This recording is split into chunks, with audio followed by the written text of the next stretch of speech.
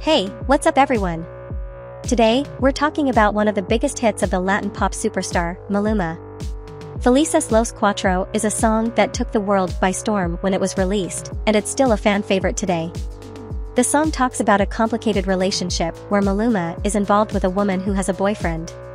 The title Felices Los Cuatro translates to Happy the Four of Us, which means that Maluma, the woman, her boyfriend, and Maluma's girlfriend are all involved in this relationship. While the lyrics might seem scandalous, Maluma explained that he wanted to show that love has no boundaries and that we shouldn't judge others for their choices. The song is an invitation to enjoy life without worrying about what others might say. Maluma started his career in 2010, and it didn't take long for him to make an impact on the music scene.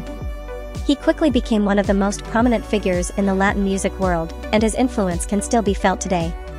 Besides Felices Los Cuatro, Maluma has many other hits that have dominated charts worldwide. Hawaii, Corazon, Chantaje with Shakira, El Perder, and Sin Contrato are just a few examples. Maluma's music is a fusion of reggaeton, trap, and pop, and he has collaborated with some of the biggest names in the industry. His influence on Latin music cannot be overstated, and he continues to push the boundaries of what's possible in the genre. So, if you're a fan of Latin music, you cannot miss out on Maluma's music. Check out his other hits, and let us know in the comments which song you'd like us to cover next. And don't forget to subscribe to our channel, Ala27, for more amazing content about the world of music. We post new videos every day, so hit that notification bell and stay tuned.